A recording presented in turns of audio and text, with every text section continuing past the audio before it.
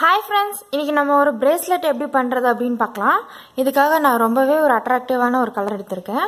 இப்போ இந்த ஸ்டிச் வந்து பஃப் ஸ்டிச் வச்சு தான் நம்ம யூஸ் பண்ண போகிறோம் ஸோ அதுக்காக ஃபர்ஸ்ட் நம்ம ஒரு ஸ்லிப் நாட் போட்டுட்டு நீங்கள் என்ன பண்ணுறீங்கன்னா ஒரு ஃபைவ் செயின்ஸ் போட்டுக்கணும். ஃபைவ் செயின்ஸ் போட்டுட்டு ப்ளஸ் எக்ஸ்ட்ரா ஒரு செயின் நீங்கள் போட்டுக்கணும். இப்போது இந்த ஹூக்கில் இருந்து செகண்ட் ஸ்டிச்சில் நம்ம பஃப் ஒர்க் பண்ண போகிறோம் ஒரு வாட்டி ஆன் ஓவர் பண்ணிவிட்டு அதுக்குள்ளார விட்டுட்டு பிடிச்சி இழுத்துக்கணும். மறுபடியும் ஒரு வாட்டி ஆன் ஓவர் பண்ணிவிட்டு அதுக்கு உள்ளார விட்டுட்டு பிடிச்சி இழுக்கணும். மறுபடியும் ஒரு வாட்டி ஆன் ஓவர் பண்ணிவிட்டு அதே ஸ்டிச்சில் உள்ளார விட்டுட்டு பிடிச்சி இழுத்துட்டு இப்போ இந்த ஹூக்கில் இருக்க எல்லா ஸ்டிச்லேயும் சேர்த்து நம்ம இழுத்துடணும்.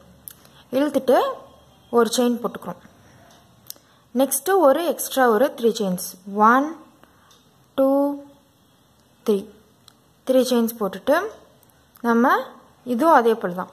ஹூக்கிலேருந்து செகண்ட் ஸ்டிச்சில் பஃப் ஒர்க் பண்ண போகிறோம் ஸோ ஒரு வாட்டி ஆன் ஓவர் பண்ணுறேன் உள்ளார விடுறேன்.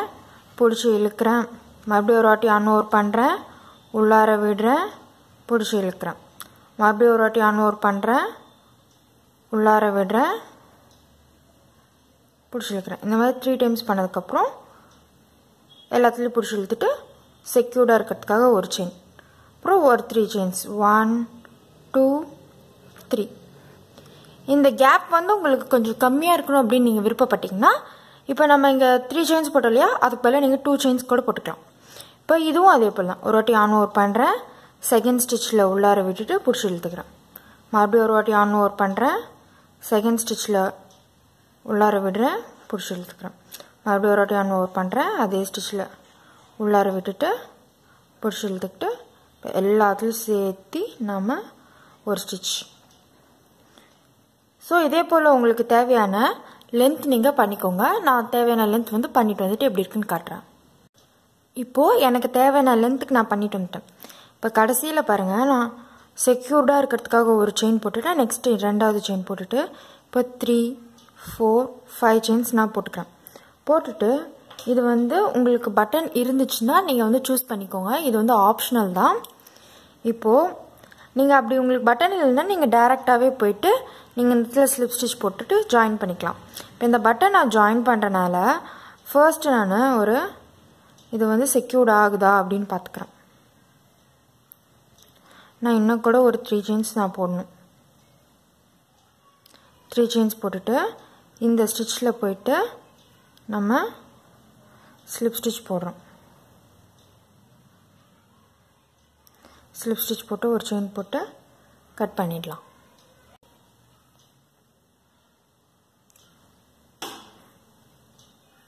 இப்போது இதை நம்ம உள்ளார வச்சு தைச்சு ஃபர்ஸ்ட் அதுக்கு முன்னாடி நீங்கள் இந்த பட்டனில் இதை ஜாயின் பண்ணிடலாம்.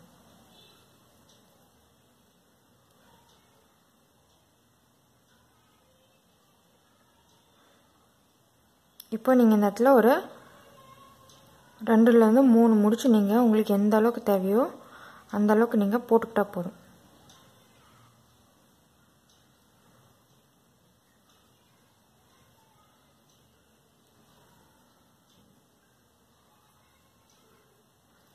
ஸோ நான் டோட்டலாக முடிச்சு போட்டு வந்துடுறேன்.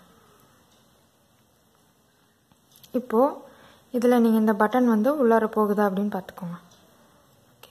இப்போ நான் இதெல்லாம் உள்ளார வச்சு தைச்சிட்டு வந்துடுறேன். இப்போ நான் அதில் இருக்க எல்லா த்ரெட்ஸையுமே செக்யூர் பண்ணிட்டேன். இப்போ இது பார்த்தீங்கன்னா நமக்கு சூப்பரான ஒரு ப்ரேஸ்லெட் வந்து ரெடி ஆயிடுச்சு. ஸோ இதே போல் நீங்களும் இந்த பீட்லெஸ் பீட் ப்ரேஸ்லெட் எப்படின்னு செஞ்சு பார்த்துட்டு சொல்லுங்கள் இதுக்கு நான் ஏன் அப்படி பேர் வச்சேன்னா இது பார்க்க குட்டி பீட்ஸ் மாதிரியே இருக்கும். குட்டி குட்டி பீட்ஸ் மாதிரியே இருக்கும். ஆனால் இது பீட்ஸ் இல்லை. ஸோ இந்த ப்ரேஸ்லெட் எப்படி இருக்குன்னு செஞ்சு பார்த்துட்டு சொல்லுங்கள் ஃப்ரெண்ட்ஸ் தேங்க்யூ Save nature.